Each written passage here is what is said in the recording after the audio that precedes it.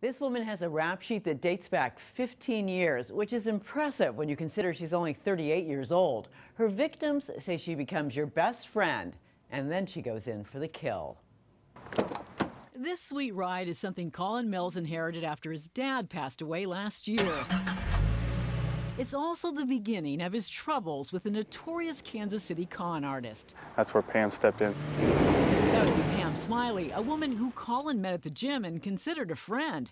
He told Pam that since he now had the Mustang, he would like to sell his truck. She made him an offer. I'll buy your truck through my company and we'll use it as a commercial vehicle. For what Pam said was her business, a gym called the Core of Houston. So it's a physical fitness personal trainer company or something like that. Colin said Pamela signed this receipt with the promise that she would quickly pay off the nearly $30,000 he still owed on the truck. But that didn't happen. Every time I would contact her, she would give me an excuse of, oh, the check will be here, or oh, the bank should have the funds now. Colin's lender started hitting him with late fees. Four months into the deal, he demanded Pamela give back the truck. That's when he said she handed him this check for $29,727. I thought everything was going to be finished. But the check was a fake. He reported Pamela, his missing truck, and the fake check to Kansas City police, who are investigating. But police told him even if he tracked down Pamela, she's uh, ignoring my calls. He couldn't just take his truck back, since technically he sold it to her. She's walking away with my truck, and I, I can't report it stolen because she made one payment. Which is why Colin called Fox 4 problem solvers.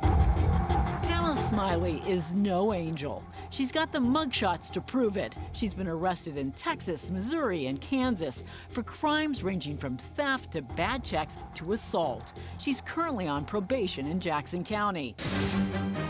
And if you're a fan of Judge Judy, you might remember Pamela from three years ago. It's for the foundation.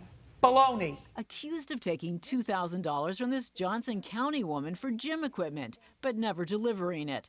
Judge Judy didn't buy Pamela's excuses. But this other two grand is a scam. In judgment for the plaintiff in the amount of $2,000. That's all. She lost the case. Her victim hoped the verdict would warn others. Plenty of other victims along the way, including Colin and his truck. Fox 4 Problem Solvers called Pamela. Hi, Pam. Linda Wager. I'm with Fox 4 News, Fox 4 Problem Solvers. We're talking to Colin about the truck that you have. We just want to ask you about it. Pamela agreed to come to the station and talk to us, but never showed. Instead, we heard from a woman who said her name was Morgan Parker and claimed she was a paralegal representing Pamela. She told us this check was good when Pamela delivered it, an odd claim since a bank identified it as a fake check that same day. Plus, it's written on a non existent account. The core of Houston's actual owner, Lee Schupenhauer, told us Pam hadn't worked there in more than two years, and the account number on the check doesn't match the company's bank account. He also told Fox 4 that multiple Texas law enforcement agencies have visited the gym looking for Pamela. This whole twisted tale doesn't surprise Donna Fashion. She's Pamela's former mother in law. She is not to be trusted by anyone. Here's the good news. The day after we called Pamela, letting her know Fox 4 Problem Solvers was on the case, Colin got his truck back. Now he just wants to warn others about a woman who should never be your friend. But this problem is far from solved. Colin is still out $2,000 in late fees. Kansas City Police's fraud unit is investigating the case, but it could be months before it makes its way to the prosecutor.